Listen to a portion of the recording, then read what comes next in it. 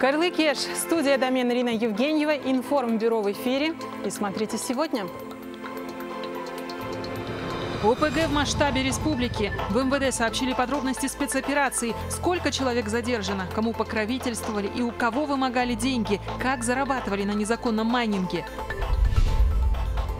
Еще на год. Мораторий на проверки бизнеса продлят. Как это поможет предпринимателям восстановиться после пандемии? Хорошо ли это для потребителей? И сколько отравлений по этому поводу, сколько жалоб? В каких случаях могут явиться контролирующие органы? Прайс за развитие. Насколько подорожали услуги детских центров? А куда деваться? Надо, чтобы дети учились уже. В каких регионах больше всего и с чем это связано? Смертельный прыжок. Какой срок получил инструктор роуп-джампинга? Девушка разбилась, упав с высоты 30-метрового здания. Пускай, я говорю, была бы инвалидом, но живая. Как подсудимый отреагировал на вердикт? Организованная преступная группировка орудовала сразу в нескольких городах Казахстана. Ее участники выбивали долги, вымогали деньги и покровительствовали незаконным майнерам. МВД совместно с КНБ задержали 23 человека в Алматы области, Шимкенте, Актюбинской и Жамбылской областях.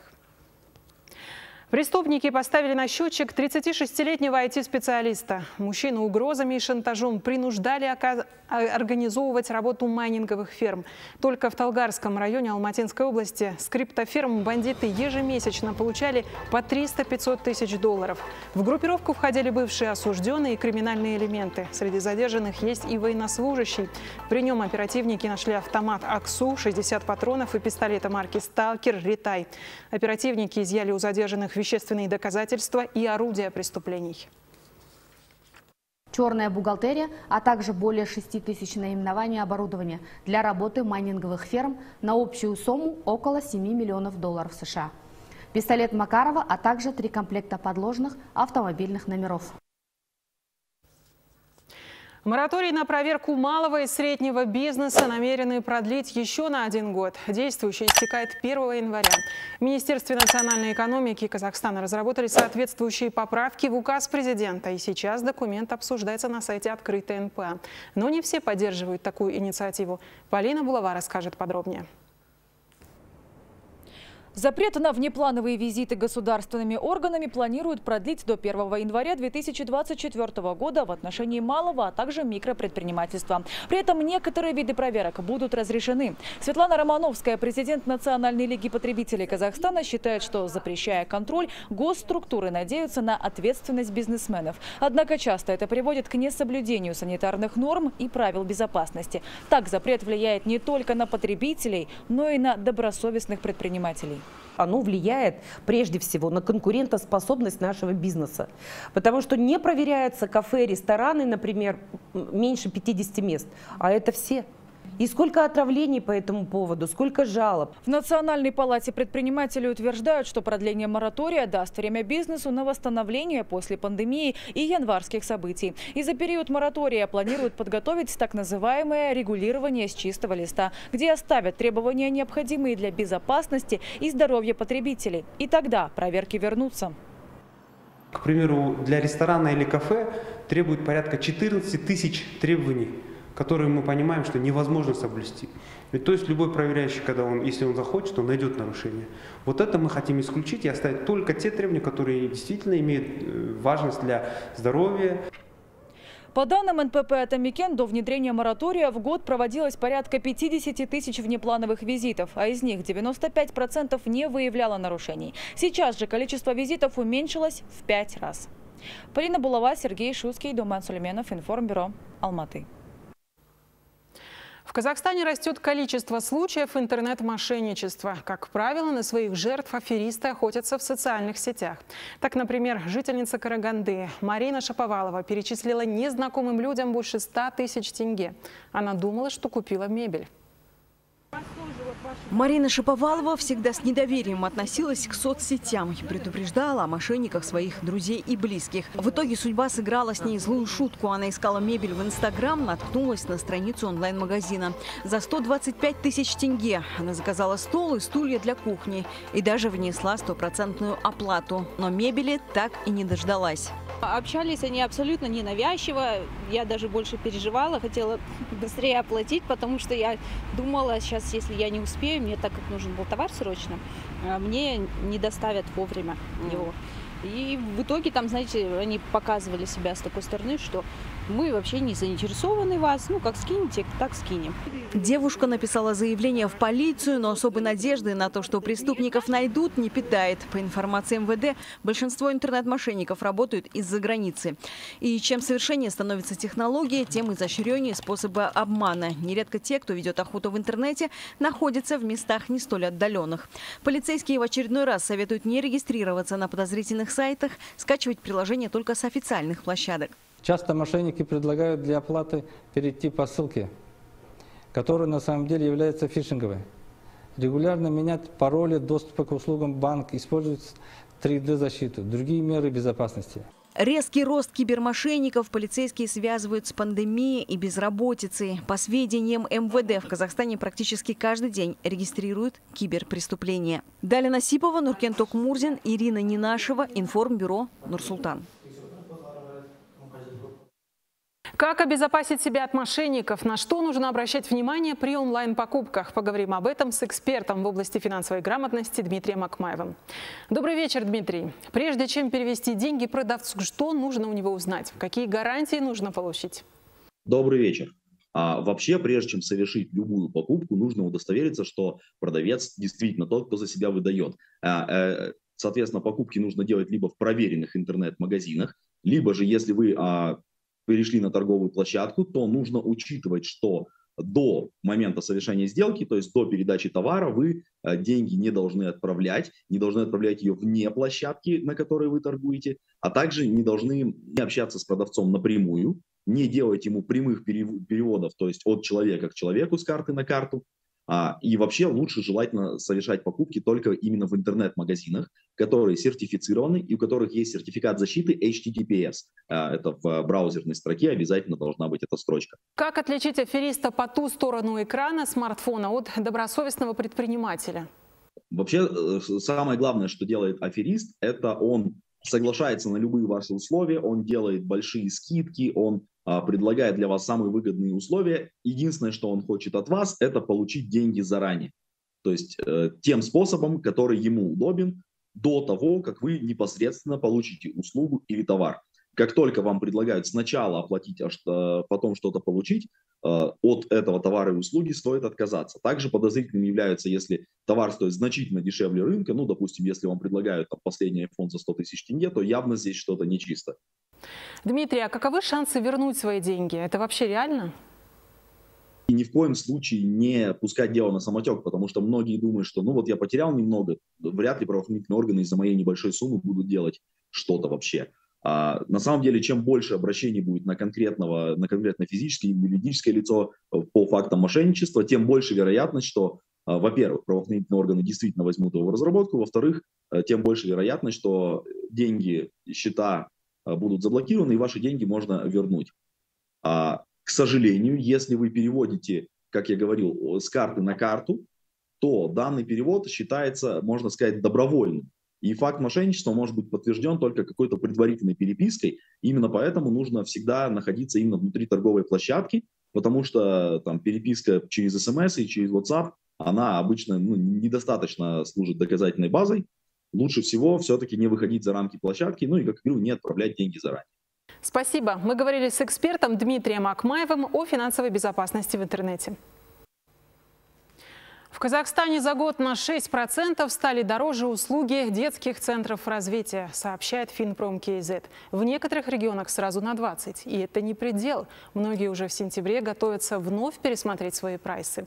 Почему так дорого обходится дополнительное образование детей, узнавали наши корреспонденты. Цены на услуги центров развития для детей выросли за год почти во всех регионах. И наибольшее удорожание в этом сегменте наблюдается у нас в Восточно-Казахстанской области. За последние 12 месяцев здесь стоимость дополнительных занятий для ребятишек и языковые курсы подскочила сразу на 20,8%. В антилидерах еще два региона. Ощутимый рост отмечается в Атрауской области более 14,5% и в Казалардинской на 14%. Если остановиться на Восточном Казахстане, то у нас в среднем центре ежегодно в августе-сентябре повышают цены на 10-20%. В одном из таких детских развивающих учреждений нам рассказали, в связи с чем меняются прайсы. Мы можем сэкономить на канцелярии, на каких-то постоянных расходах, но главная наша цель – это высокие зарплаты, конкурентоспособность, чтобы наши специалисты были замотивированы, выдавали хороший результат, учились, были вовлечены в процесс. Цены растут в магазинах почти каждую неделю, и почему зарплаты наших преподавателей не должны расти, соответственно, от этого растут цены на наши курсы. И это еще не предел. Уже в сентябре ставки опять пересмотрят. Примеру, если курсы английского языка в месяц стоили 8 тысяч тенге, теперь будут 10 тысяч. Евгения, а насколько подорожали услуги детских учебных центров у вас в Павлодаре? Да, у нас, Жанар, в Павлодарской области пока зафиксирован наименьший рост цен на услуги детских центров. Это что-то около 1%, но даже такой скачок значительно повлиял на семейный бюджет. Новый учебный год совсем скоро, и родители хотят максимально вложить в развитие своего ребенка. Если будет возможность, отдадим обязательно. А куда деваться? Надо, чтобы дети учились же. Было образование, хоть сначала в садике, а потом в школе. В зависимости от стоимости будем отправлять. Если будет дорого, то... Будем дома заниматься, да. А если будет вполне разумные цены, то, конечно, будем отправлять. И это при том, что конкуренция в данной сфере в Прииртышье значительно плотная. И даже при удорожании на тысячу или две тысячи тенге значительно изменится спрос. Еламан, а как обстоят дела с расценками у вас в Алматы? Евгения, если у вас зафиксирован минимальный рост, то у нас в Алматы ситуация еще лучше. Согласно статистике, здесь сохранились прошлогодние расценки. И, как говорят эксперты, стоимость останется на прежнем уровне как минимум до конца осени. В Алматы, по сравнению с другими городами, конкуренция на очень высоком уровне. Поэтому даже если на пару процентов повысить цену, можно потерять клиентов. К тому же вся канцелярия и необходимые вещи для центров развития у нас дешевле и доступнее. Добавлю, хоть цены в Алматы и не выросли, но они намного выше, чем в других регионах. Если в Усть-Каменогорске курсы английского стоят в среднем 8 тысяч тенге, в Павлодаре 4,5, то в Алматы нужно будет заплатить от 15 тысяч тенге. Это объясняется высокой платежеспособностью горожан, говорят эксперты. Также растет количество детских центров развития и всевозможных кружков. Иляман Раимбеков, Жанар Аслаханова, Евгения Мехченко, Информбюро. С этого года в Казахстане действует целевая подготовка студентам по заявкам предприятий. Таким образом, государство планирует бороться с дефицитом рабочих кадров. Для того, чтобы получить техническую специальность, достаточно пройти собеседование. Нина Шапо расскажет подробнее. Костанайском колледже автомобильного транспорта сейчас былого ажиотажа, как было в первые дни работы приемной комиссии, уже нет. В этом году здесь впервые, как, впрочем, и по всей стране, набирают абитуриентов по целевому заказу. Это значит, что в колледже будут группы по тем специальностям, в которых остро нуждаются конкретные предприятия регионов. Это прежде всего э, гарантированное трудоустройство. Э, наша задача – обучать обучать именно тем компетенциям, которые требуются для этого производства. А для этого мы согласовываем учебные планы и программы с предприятием. Самая популярная профессия здесь – это техник-механик. Конкурс на эту специальность будет большой, примерно три человека на место. Чтобы абитуриент мог понять, на каком предприятии он захочет работать после окончания колледжа, в приемных комиссиях представители заводов ведут профориентационную работу. И наше предприятие остро нуждается всегда вот именно в этих профессиях слесарь, инженер, ой, техник, механик. И поэтому мы вот решили участвовать в этой целевой программе. Ребята привлекаются непосредственно для нашего предприятия. Сейчас на данный момент даже больше отобралось, чем мы планировали. Поэтому у нас уже есть даже право выбора Абитуриентам, возможно, выдадут даже форму от предприятия, которое, как говорится, берет над ними шефство. Такая инициатива исходит от руководства колледжа. К примеру, в Костанайской области целевым госзаказом планируют охватить 708 человек. Представители, руководители э, могут участвовать сейчас в приеме документов у нас в колледжах. Также э, после 18 августа, когда вот эти все списки сформируются, они будут участвовать в проведении собеседования экзаменов по целевому госзаказу «Нет». Как только абитуриент поступит, будет составлен трехсторонний договор, где будут прописаны все форс-мажорные обстоятельства. Но вот обязательств отработать грант после обучения именно на этом предприятии у студентов не будет. Всего по стране выделили 10 тысяч целевых грантов. Это гарантирует студентам стопроцентное трудоустройство, а колледжам даст возможность выпускать специалистов по запросу рынка труда. Нина Шапо, Елена Досова, Информбюро, Костанай. Продолжаем информбюро. Четыре года лишения свободы получил инструктор аттракциона роуп-джампинга в Караганде за смерть молодой женщины. Напомню, в прошлом году осенью с высоты 30-метрового здания упала Евгения Леонтьева. Сегодня суд огласил приговор. Как его выслушали обвиняемые и близкие погибшей, расскажут мои коллеги. Перед судом предстал 34-летний Александр Музникас. Именно он одевал снаряжение на 33-летнюю Евгению Леонтьеву и давал последние наставления на крыше. Но не дождался знака от коллеги, который внизу крепил страховочный трос к дереву. Девушка погибла на глазах у мужа. У нее остались трое сыновей, двое своих и один приемный. Суд признал инструктора виновным по статье предоставления услуг, повлекших смерть по неосторожности. Назначить ему по данной статье наказание в виде лишения свободы на срок 4 года с отбыванием наказания в учреждениях уголовно-исполнительных систем средней безопасности. Наказание минимальное по статье. Суд учел, что Музникас ранее не судим, что переживал за пострадавшую и отвез ее в больницу. Но вину он не признал и заявлял, что не работал в компании Fly Казахстан, которая организовала прыжки, а только помогал. Несмотря на отсутствие трудового договора, суд признал его сотрудником. Александр Музникас также должен выплатить 4 миллиона супругу погибшей и 2 миллиона матери. Он намерен обжаловать приговор. Это его невнимательность, халатность вот этому всему то, что он не убедился. Ну, я считаю, вина его стопроцентная, там все было по видео сказано, ну, видно, что он сам ее пустил. Была бы каска, она бы уже, голова у нее меньше пострадала. Как бы. Пускай, я говорю, была бы инвалидом, ну, живая, как бы, Евгения Леонтьева прыгала с крыши заброшенной девятиэтажной гостиницы «Созвездие». Учредитель компании «Флай Казахстан» Илья Ильичев до сих пор в розыске Интерпола. С момента трагедии в Карагандинской области прыжков с тарзанки больше не было, но аттракцион роуп-жампинга другой компании до сих пор действует в Алматы. Мы предоставляем стопроцентную гарантию, что у вас все будет безопасно. Работаем с лицензией. От правительства на прыжки. В Караганде были прыжки, у них не было лицензии, у нас все официально.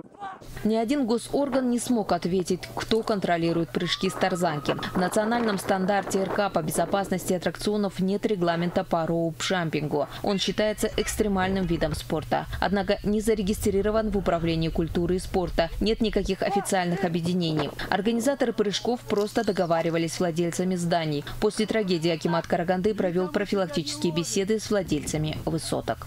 Мадина Исюмбаева, Людмила Батюшкина, Ирина Нинашева, Информбюро Карагандинская область. А в Алматы жители предгорья выступают против строительства нового ЖК. Дело в том, что целый комплекс многоэтажек возводят на возвышенности, а частный сектор расположен внизу. Люди опасаются, что вместе с селем на них обрушатся элитные дома. Джамал Габдулина продолжит. Если это все оползет, это просто вот, я не знаю, этих домов просто не будет. Это все будет смятку, потому что вот он еще второй склон, и все это снесет под такой массой. Это невозможно, это просто опасность э, для жизни потенциальная. Жители микрорайона Коктубе в Алматы возмущены очередной точечной застройкой. По их словам, на данной территории не разрешается по правилам индивидуального жилищного строительства воздвижение домов более трех этажей. Они задаются вопросом, как известному застройщику удалось получить разрешение на стройку жилого комплекса от 6 до 12 этажей. Все отмалчиваются, кто это что делает. Причем я звонила в милицию и в ГАСК. Они сказали, в ГАСК я звоню, они говорят, по этому адресу не существует никакой стройки. А, в конце концов, я написала на, а, посоветовалась с жителями, мы написали а, на портал в Акимат. Э, с Акимата пришли э, различные уведомления, что письмо в действии получается.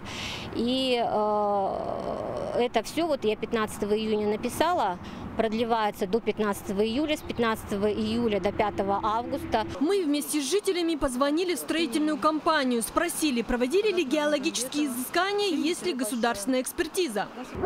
Нет, не могу. Делайте запросы, тогда у нас есть компетентное лицо, которое это сделает. Продажа почти 700 квартир началась 23 июля. Всего на трех гектарах планируют построить 13 домов. По словам жителей, была ли экспертиза и геолога-разведка грунта, неизвестно. В управлении архитектуры заявляют. По проекту детальной планировки Медеуского района участок расположен в зоне 6-12-этажной застройки. Согласно законодательству, собственнику выдана предпроектная документация на проектирование жилого комплекса. Западная сторона стройки – это обрыв. Ниже – дома. В ущелье течет речка параллельно жилым объектам. Для наглядности я постаралась взобраться на этот склон, но дальше пройти не могу, так как очень скользко. Алматинцы опасаются за свои жизни. Они говорят, что в случае землетрясения или оползня они останутся под завалами. Жамал Габдулина, Рената Булхаиров, Информбюро, Алмата. Пуститься в погоню вынуждены были полицейские Алматы, преследуя угонщика. 28-летний мужчина умудрился угнать сразу три авто, в том числе и карету неотложки, которая прибыла к нему на помощь. Все началось с того, что мужчина угнал иномарку и совершил на ней ДТП. От своего плана решил не отказываться и силой отобрал у девушки другую машину. С управлением не справился и опрокинул ее на трассе. Очевидцы вызвали для него скорую. Раненый алматинский терминатор угнал и карету неотложки, но далеко не уехал. Полицейским удалось его задержать. Мужчина был под действием наркотиков. Ведутся сразу три уголовных дела. Все три транспорта в настоящее время являются вещественным доказательством в рамках уголовных дел. Они в процессуальном порядке позже будут возвращены истинным владельцам. Конечно же, будет поставлен вопрос о материальном возмещении ущерба потерпевшим в первую очередь. С начала года в Казахстане выявили около полутора тысяч сайтов и 430 чатов в мессенджере Telegram, где продавали смертельные порошки и смеси. Какое наказание грозит за рекламу и продажу психотропных веществ, расскажет Людмила Батюшкина. Узнать человека, который ищет закладку, легко, рассказывает Александр Морозов. Он разгребает траву или листья. Сам мужчина когда-то был героиновым наркоманом. Сейчас героина не найти. Его заменили соли, скорость, спайсы. Правда, часто называют их красиво – релаксанты, эйфоретики, энергетики. Все они вызывают зависимость. Александр предпочел алкоголь. Есть люди, которые выпрыгивали с четвертых этажей, путали, что это двери. Вот этот синтетика и спайс, вот идет, они курят его. Это страшнее, традиционные наши старые? Конечно, намного. Раньше не было никакой химии. В отделении наркологии врачи также рассказывают о странном поведении пациентов. Как те залазили под столы и кушетки, панически чего-то боясь. Один замуровал себя в ванной. Таково действие синтетических наркотиков. Среди наркозависящих от синтетики чаще всего люди от 15 до 30 лет. И если физическую ломку врачи снять могут, то исправить психику крайне сложно. Там очень много нарушений, когда у человека тревога появляется, страх. Человек слышит голоса какие-то, например, ну, которые, например, диктуют ему что-то делать. И вот в этот момент вот, сам пациент начинает подчиняться этому состоянию. Ну и бывает вот много расслышанных, там с этажей скинулись. Гибнут все, понимаете? Нужно. Продажа соли и скорости распространяется в геометрической прогрессии. Доза стала доступна каждому от двух с половиной тысяч тенге. Чаще всего юноши и девушки хотят испытать новые ощущения. Подсесть очень легко, а уже через полгода-год органы отказывают, а организм буквально сгорает изнутри. Полицейские говорят, реклама зазывает подростков на высокооплачиваемую работу, где ни опыта, ни знаний не нужно. Многие заблуждаются, думают, что закладка наркотических средств вроде бы ничего страшного, никакого контакта ни с кем нету, деньги из рук в руки не берутся, наркотики тоже из рук в руки не передается. А как показывает наш анализ, а, работа вот этого, скажем так, в кавычках, закладчиком, она длится максимум 2-3 месяца, полгода. Потом все равно тот человек, который занимается этими закладками, попадает в поле зрения полиции.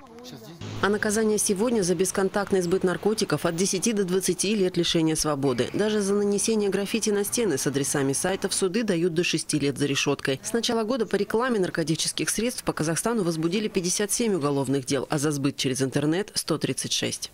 Людмила Батюшкина, Ирина Нинашева, Информбюро, Карагандинская область.